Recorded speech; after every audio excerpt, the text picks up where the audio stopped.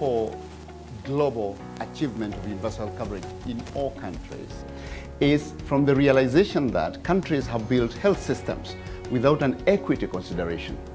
This has resulted to over half the world's population not having optimal access to healthcare. And this means that over 270,000 people fall into poverty every day because they're trying to financially access healthcare. Over 90% of these people actually are in the low and middle income countries. This cannot continue any longer.